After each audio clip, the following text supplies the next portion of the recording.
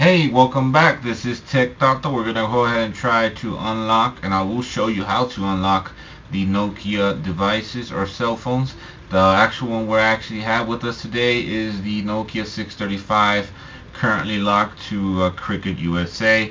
The service I offer at techtato.com allows the use of other global carriers.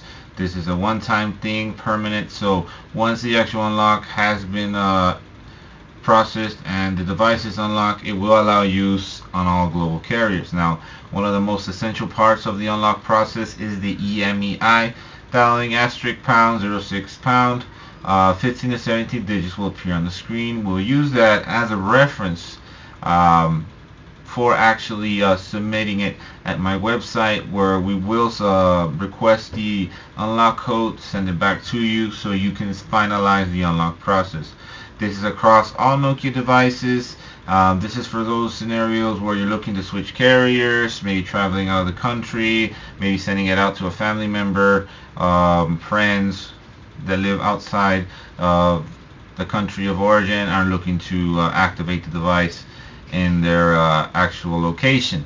Now, once you've actually switched the SIM card, the, you simply restart it. A secret unlock menu will appear on the screen.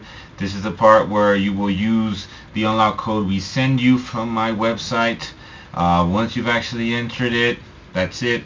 The device is factory unlocked and will uh, be able, able, you will be able to use it across any global SIM. Now, um, with Nokia devices, in my experience, the unlock code have a tendency to be relatively long as far as digits wise. Just make sure you enter it, you know, correctly. For example, in this case, I uh, overlooked a certain number and it wasn't accepted. I went ahead and entered it again. Fortunately, it was.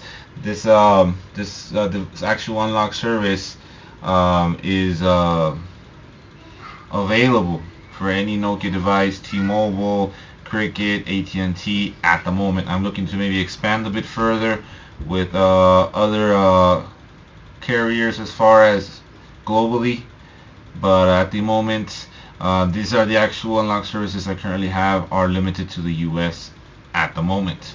Now, uh, with actually unlocking the device, I must mention that if the device is currently uh, blacklisted, reported lost or stolen, it will unlock the device but will only work outside the country of origin. So just in case you get one of those devices where a signal doesn't kick in but the actual unlock code was accepted then that is the actual case where it maybe have been blacklisted with the provider and it will no it will no longer work domestically.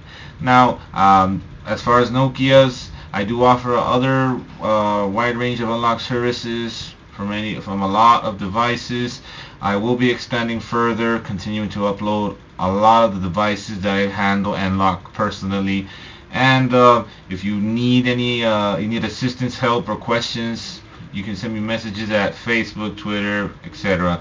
I think you just unlock your phone today at techtato.com. Thank you, and uh, see you later.